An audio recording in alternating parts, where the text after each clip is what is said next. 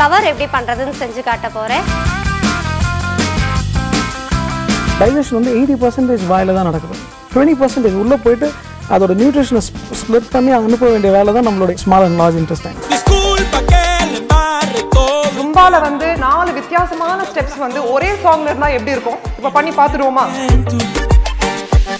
பெண்கள் சாய்ஸ் இன்று காலை பதினொன்று முப்பதுக்கு நமது புதியுகத்தில்.